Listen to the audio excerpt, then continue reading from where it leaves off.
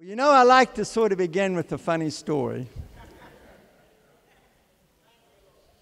So, actually, I got a couple. Because we need to laugh. I know I need to laugh because God is good. Because laughter is merry to the soul, is what my Bible says. Amen. So, a couple of church bulletin bloopers. One, don't let worry kill you off, let the church help.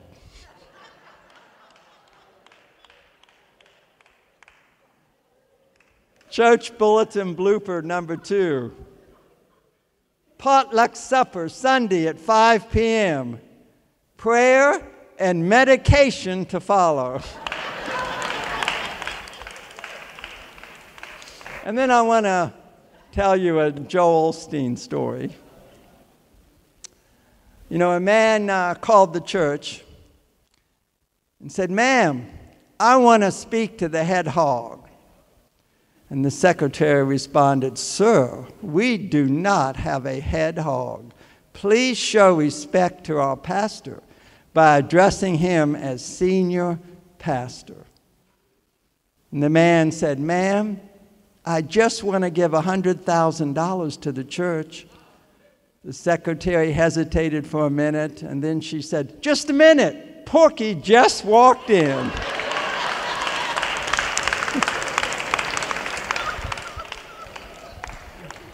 Now, you know this is not our pastors.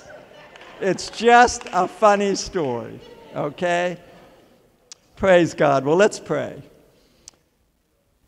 Father, we need your word today. Our hearts are open, our minds are receptive. And so, Father, speak your word, I pray, through me, Lord. Let every word be from the very mouth of our Lord and Savior. We thank you for it, Father. I submit my will to your will. And we, as a congregation, both on house, in the house, and online, submit our will, our minds, and our soul to your word. Let it have its way. In Jesus' name we pray. Amen. Amen. Praise God. Well, I got to be a little open here and transparent. This sermon to prepare has been one of the most difficult for me. I know I don't prepare a lot of sermons, but from those that I have prepared, this has been very difficult for me. There's been a heaviness, but see, God is faithful. And there are going to be some people, as Pastor Charles said, set free today. This is your day. Be open, be receptive. And so, Pastor Charles has been teaching on this series, Alive, with our key foundational scripture, Colossians 2, verses 13 through 15. If you are, if you can, if you would stand and read it with me, please. And you were dead because of your sins, and because of your sinful nature was not yet cut away.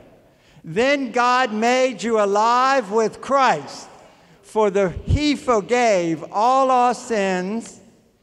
He canceled the record of the charges against us and took it away by nailing it to the cross. In this way, he disarmed the spiritual rulers and authorities.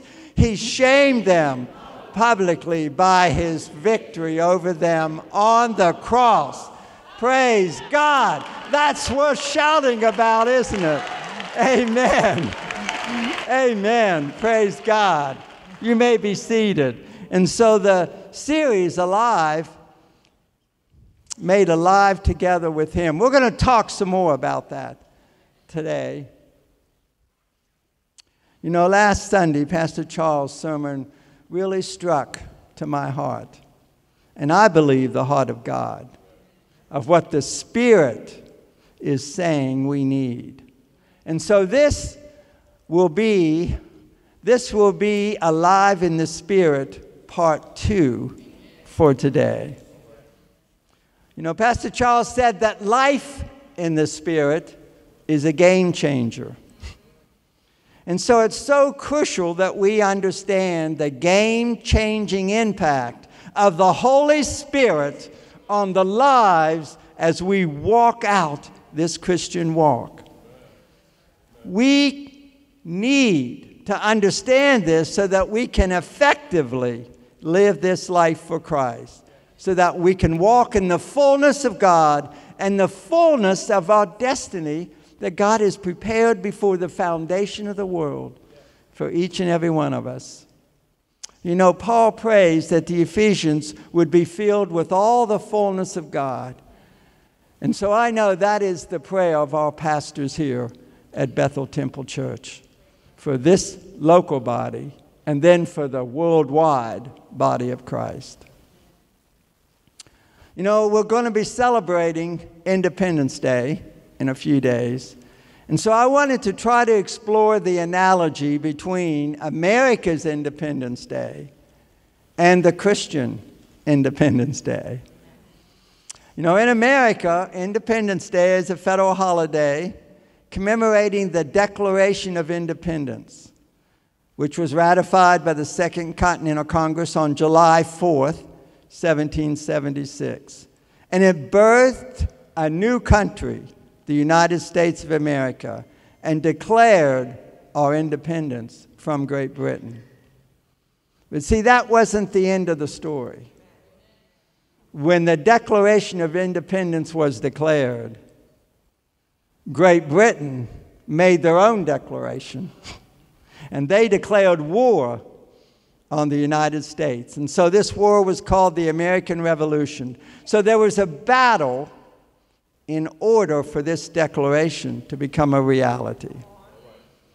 And so I want to talk to you today about another independence, and that's the spiritual independence of each and every person. And that, it, and that independence allows us to put off the old man and to put on the new man in Christ. And so, just like the United States made a Declaration of Independence on July 4, 1776, and a new nation was born, the first step in spiritual independence is to make that Declaration of Independence. And for us, in our spiritual realm, that Declaration of Independence is our prayer of salvation. When we make that prayer of salvation, we are declaring our independence from the old nature, and we are declaring a new birth. you know, Jesus told Nicodemus that he needed to be born again. He needed a spiritual birth to see the kingdom of God. Look at me, look with me with John chapter 3, verses 3 through 8. Jesus answered and said to him, Most assuredly I say to you, unless one is born again, he cannot see the kingdom of God. Nicodemus said to him, How can a man be born when he is old?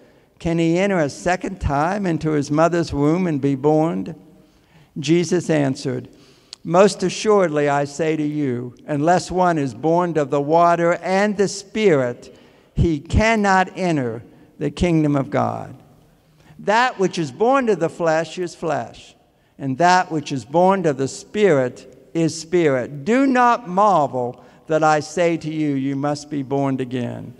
The wind blows where it wishes, and you hear the sound of it, but cannot tell where it comes from and where it goes. So is everyone who is born of the Spirit.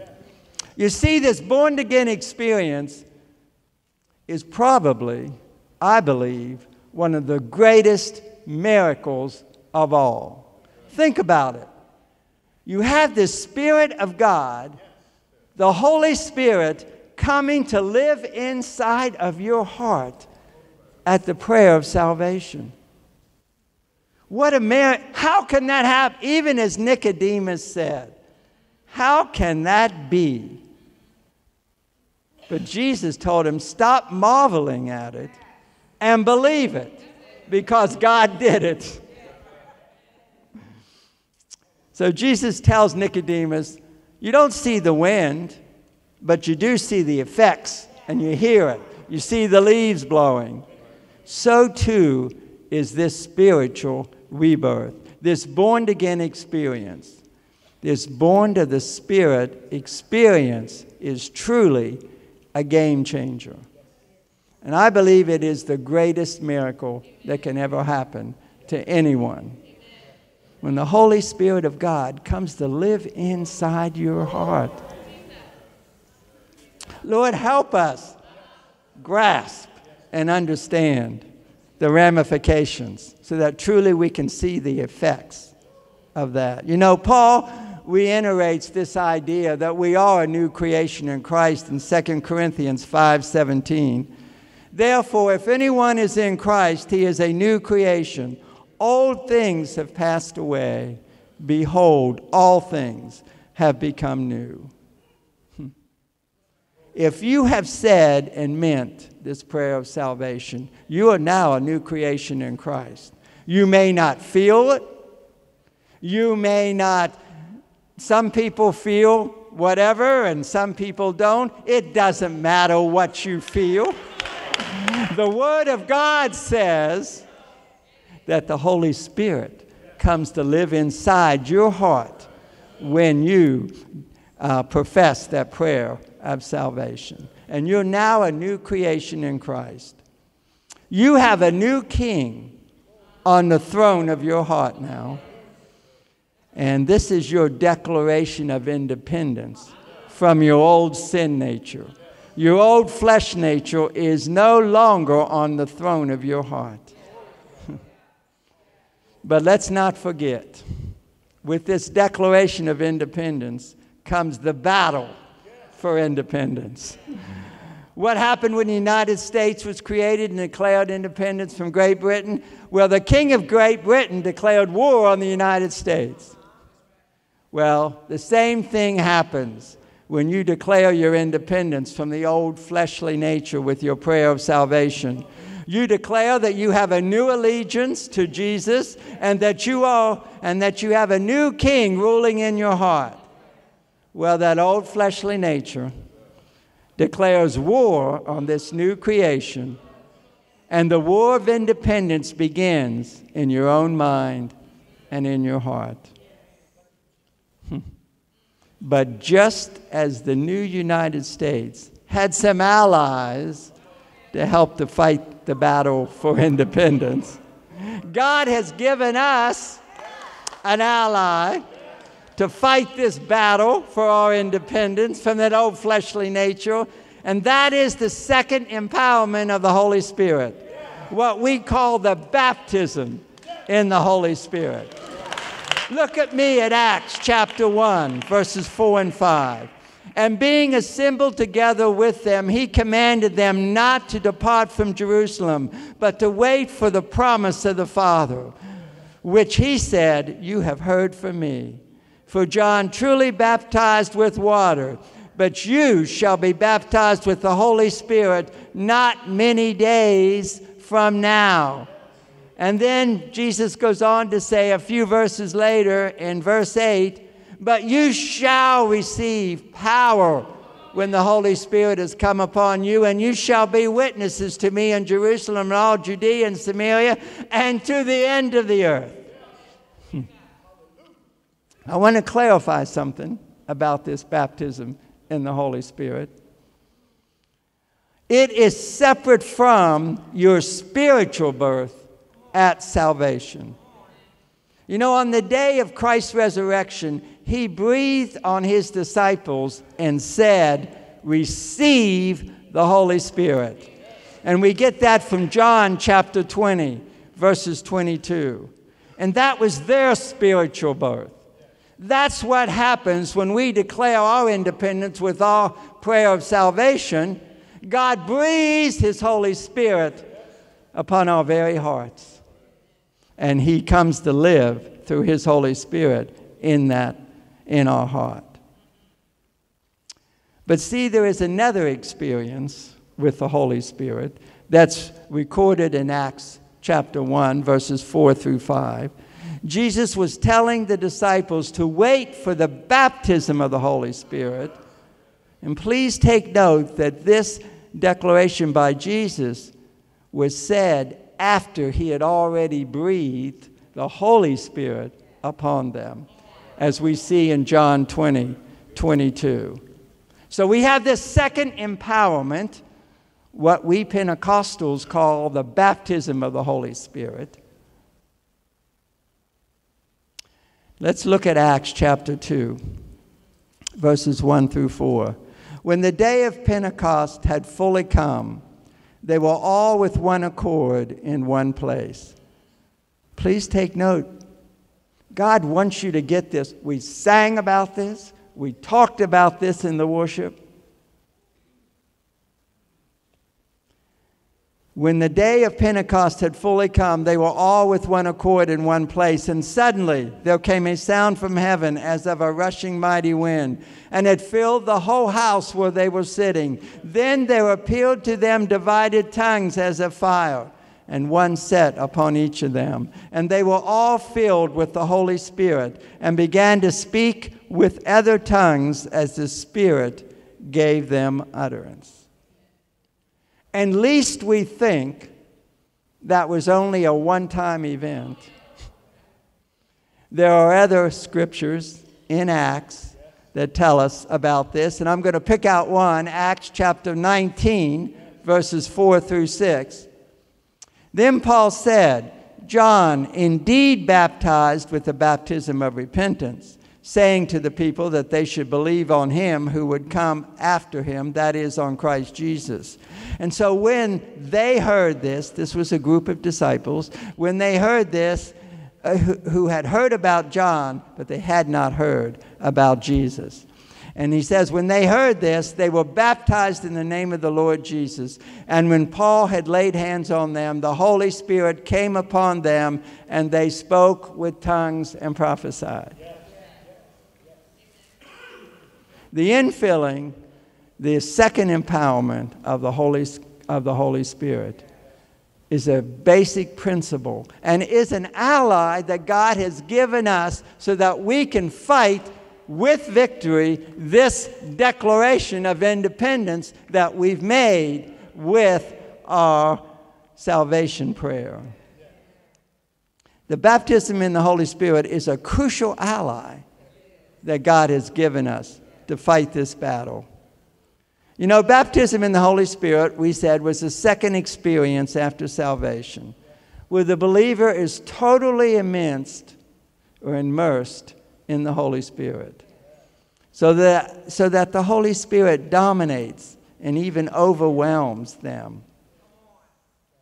And then baptism the, is evidenced by the speaking in tongues, speaking in a language that you did not learn from birth it could be a heavenly language not spoken here on earth, or it could even be a language spoken by others on earth, but you did not learn.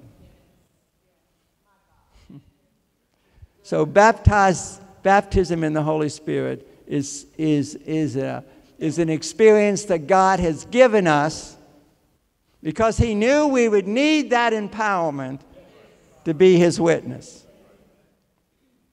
and that power to witness. You know, you witness with your words, certainly, but you also witness by your lifestyle. In fact, people will probably listen more to your lifestyle than they will to the words that come out of your mouth. So, all lifestyle needs to be a holy life that we've been called to live. And so, baptism in the Holy Spirit gives us this additional power to battle for our independence from our old flesh nature. Because living the holy life is a witness for Christ to the world, to the dying world around us. You know, 1 Peter 1 15, 16. But as he who called you is holy, you also be holy in your conduct. Because it is written, Be holy, for I am holy. And if you remember Paul's complaint about the Corinthian church, was that some believers in the Corinthian congregation were speaking in tongues, but they didn't allow the Spirit to work internally in their lives. And so he had to chastise them in chapters 3, 2, and 3. See, our, lives need to demonstrate the spiritual fruit as well as the spiritual gifts. And these both issue from the supercharged power that's gained from the baptism of the Holy Spirit, this Pentecostal experience, which we proclaim in this congregation and every other Pentecostal church in the world. See, the Spirit living inside our heart with the additional power of the baptism of the Holy Spirit gives us the power to battle for our independence from the old sin nature. Let's look at Romans chapter 8, verses 11 through 14. But if the spirit of him who raised Jesus from the dead dwells in you, he who raised Christ from the dead will also give life to your mortal bodies through his spirit who dwells in you. Therefore, brethren, we are debtors, not to the flesh, to live according to the flesh. For if you live according to the flesh, you will die. But if by the Spirit you put to death the deeds of the body, you will live. For as many as are led by the Spirit of God, these are the sons of God. And so I think the key to winning this battle over our fleshly nature is in Romans 8:13. But if by the Spirit you put to death the deeds of the body, you will live.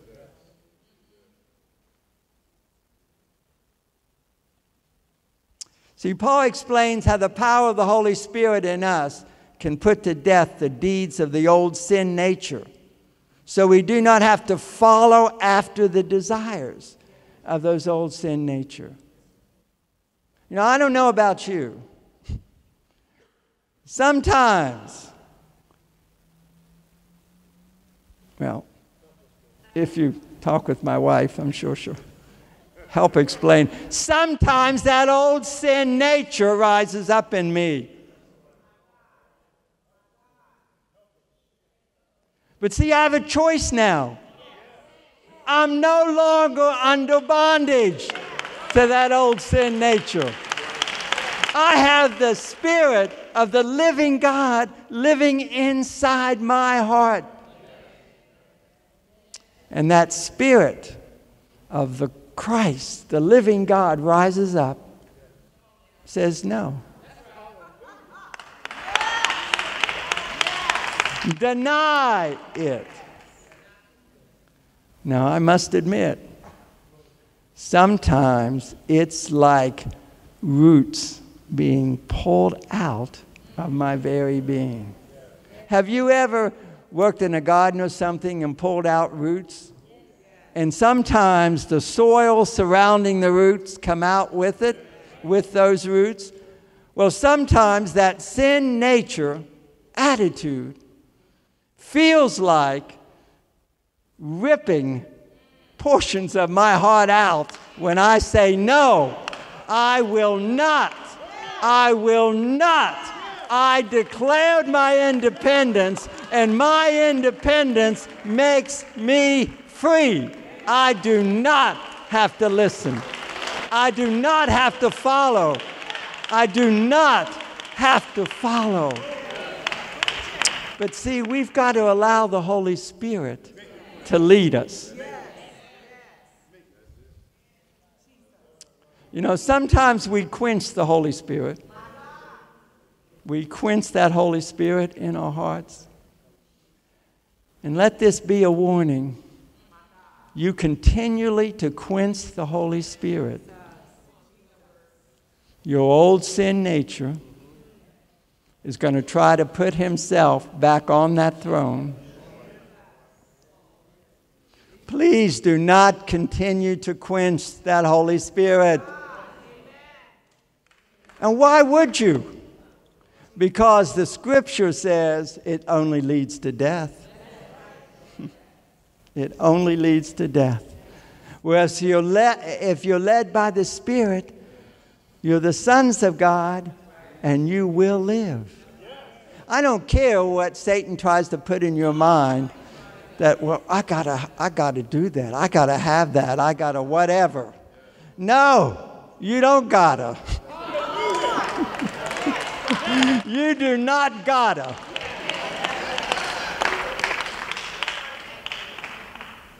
Lord, help us, right? Amen. Lord, help us. Now, Pastor Charles referred to James 4 7 last Sunday. Submit yourselves to God, resist the devil, and he will flee from you. You don't gotta. I don't care what Satan tells you, you don't gotta. Resist the devil and he will flee from you. That is from the very word of God. And so it may be uh, temp- it, it, whatever Satan tempts you to do, it's only temporary anyway.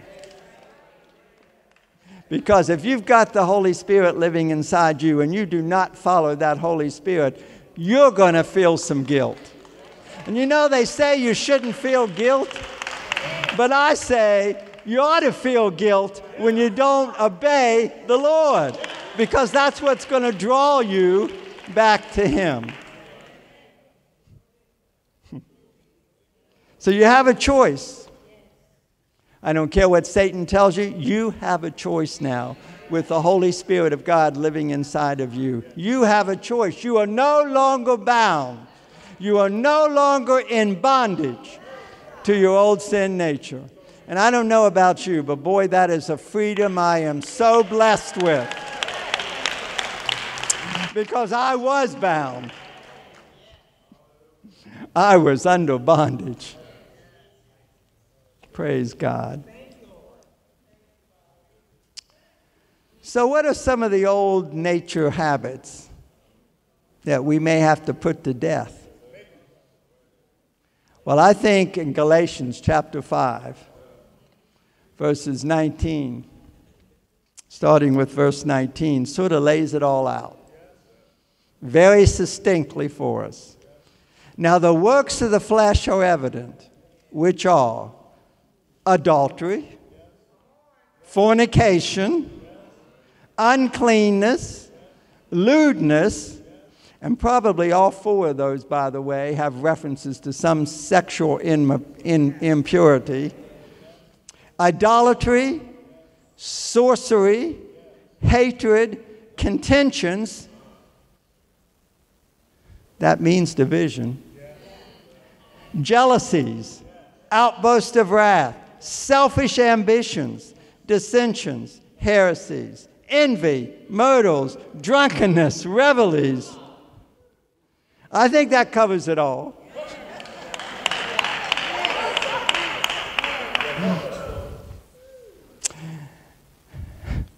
And the like, of which, in case there may be something else, by the way, and the like,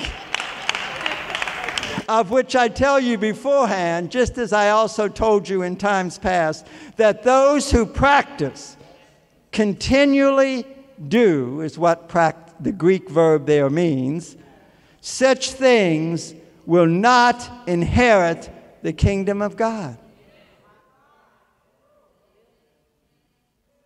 Will not inherit. You can come to church every day, every night. you can holler out your prayers. You can run up and down this aisle and around the whole building. but you practice these things, you will not inherit the kingdom of God.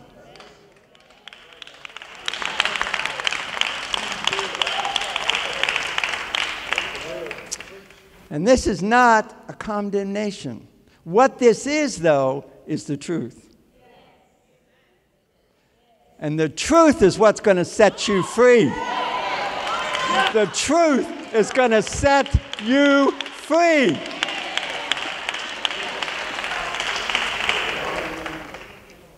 You know, there's a lot in our contemporary society going on about gender identity and all sorts of things. It's really hot in our contemporary world. And by the way, let me put a plug in for hot topics coming up. I think uh, it's Wednesday the 12th. Uh, is it 12th it starts? Wednesday the 12th are hot topics. You know what our first hot topic is going to be? Because if you can't talk about it in the church, where can you talk about it and get the Word of God applied to it? We're going to talk about the gender identity crisis in the world today. That's Wednesday, July 12th at 7 o'clock over in the Life Center. And so for the summer, our Hot Topic series, we're going to be, we're going to be looking at some of these contemporary issues that are continually facing us as Christians. They're throwing in our face. You can't even walk down the street. But see, we're going to get the Christian perspective. What does God's word say about it? And least you think it's going to be a condemnation. No. No. If we, if you happen to be in such a bondage, which one of us can throw the first stone?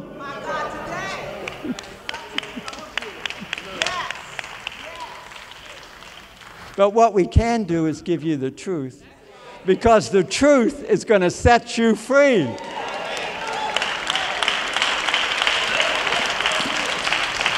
And I believe we're going to give the truth in love because God is love. And by the way, if you're not speaking anything about it in love,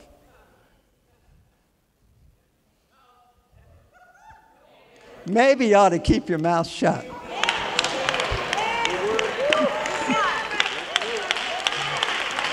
maybe you ought to keep your mouth shut if you're not speaking with the motivation of love. Because, see, our, our point we want to bring salvation. And we want to let the Holy Spirit convict. That's what the Holy Spirit does. Pastor Ron doesn't convict, it's the Holy Spirit that convicts. And trust me, I know the Holy Spirit will convict when you're walking in one of these works of the flesh. There is no way you can be a Christian have the Holy Spirit living inside of you, and you continually practice one of these things without feeling conviction from the Holy Spirit. It's just, it, it, it won't happen. It can happen because God is after to bring you and me into the full purposes of what He's called us to be and we will never walk in our full purpose if we practice the works of the flesh. But let me also talk about the fruit of the Spirit for a moment. But the fruit of the Spirit is love, joy, peace, long suffering, kindness, goodness, faithfulness, gentleness, self control. Against such there is no law. See, that's what we have, When we have the Holy Spirit living inside us and we allow God to work in us, the fruit of the Spirit ought to be evident in our life. And as Paul told the Corinthians, you can talk in tongues all you want. If you don't have the fruit of the Spirit in your life, what good is it? The fruit of the Spirit. Praise God. So, then, how do we initiate this process of what us old folks used to call sanctification?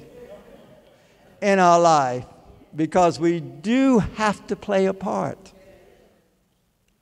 We have got to do our part to put off the old man, the works of the flesh, and to put on the new creation in Christ, to allow the fruit of the Spirit to grow in our life.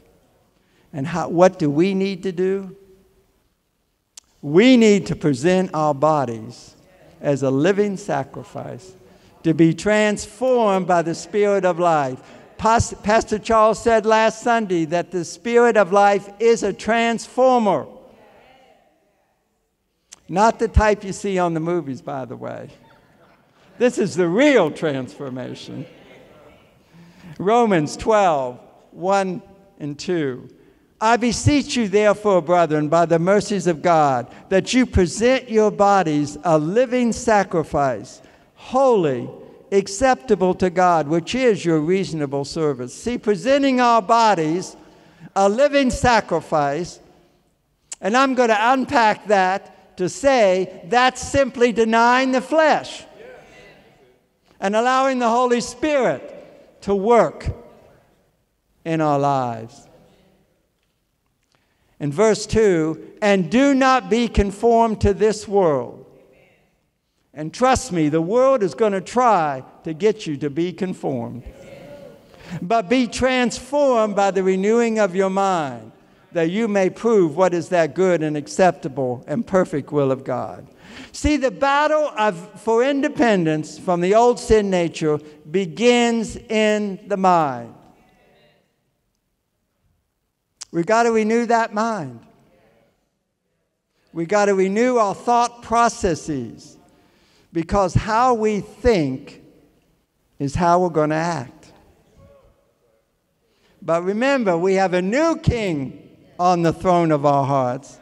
There's a new shelf in town. And the Holy Spirit living inside of us gives us the power to be transformed by the renewing of our mind. Psalm 1, verses 1 through 3, one of my favorite Psalms. Blessed is the man who walks not in the counsel of the ungodly, nor stands in the path of sinners, nor sits in the seat of the scorn, scornful.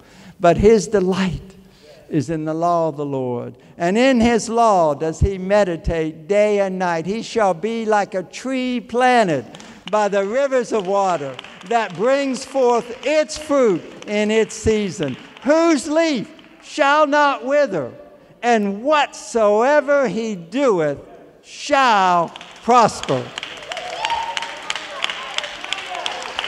That is the man or woman whose delight is in the law of the Lord.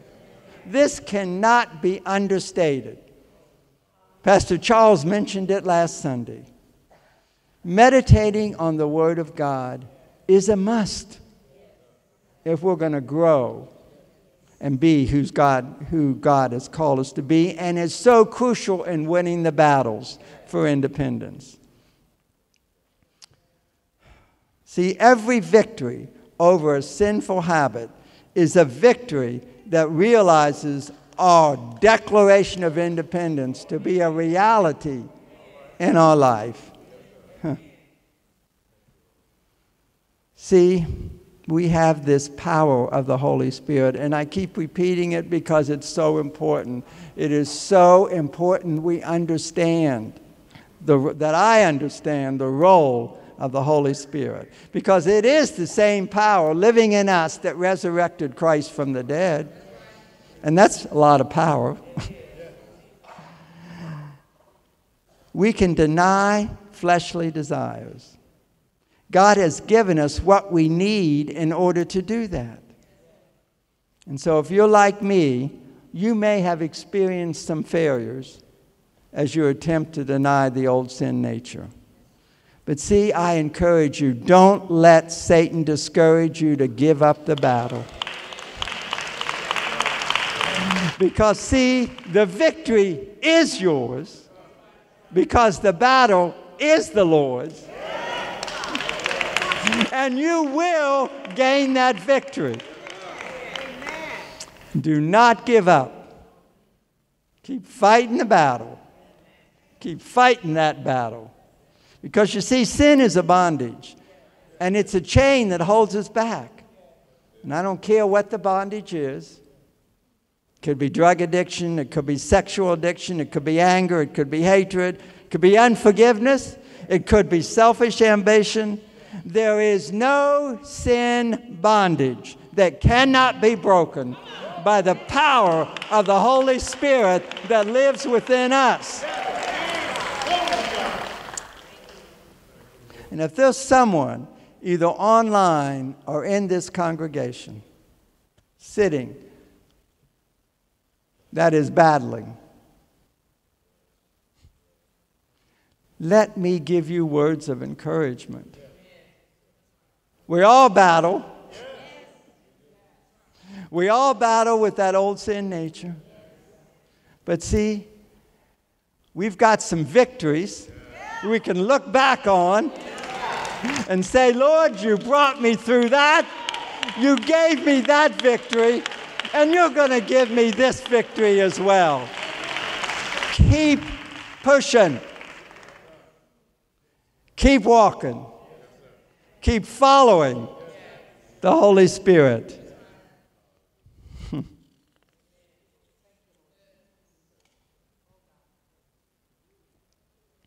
With a renewed mind, see, you call on the power of the Holy Spirit. You refuse to obey that sin desire in your mind, tempting you to sin. You offer your body to righteousness. You follow the lead of the new king on the throne of your heart. You follow the leading of the Holy Spirit telling you to deny that desire, and you don't act upon that sinful desire, but you act upon offering your body to righteousness. That's the process we're talking about. The question becomes are you going to do it? Are we going to do it?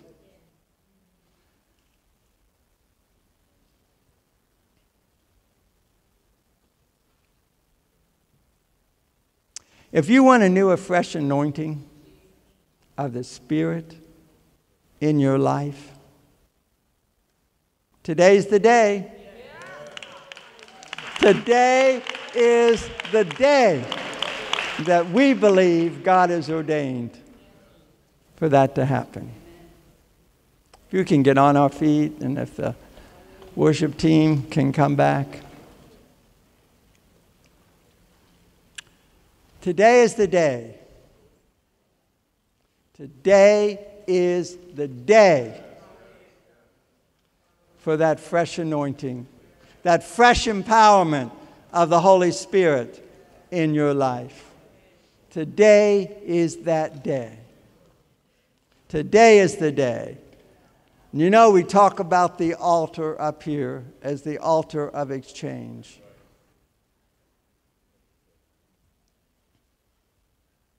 If you want that fresh anointing today, how about stepping up, declaring to the Lord, Yes, Lord, I want your fresh anointing on my life today? How about coming up to the altar? Join us here at the altar for that fresh anointing that God has for you in your life today. That fresh anointing, that empowerment to do what God's called you to do. That fresh empowerment, that fresh anointing.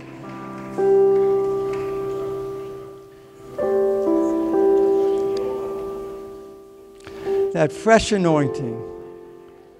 Lord, help us. Lord, give us that fresh anointing, I pray, Father. Father, I pray, Lord, through your mighty Spirit, that you move mightily upon this house today. If you're online, stand up. That'll be your altar. Stand up. Holy Spirit, we pray for that fresh anointing on our lives, Lord. We need you, Father. We need your Holy Spirit, Father, to enliven us, Lord, to empower us, Father, to refresh us mightily, we pray, Father. Your Holy Spirit move as only you can move, God. That fresh anointing, that fresh empowerment. Fill us, Lord, afresh and anew we pray in Jesus' mighty name.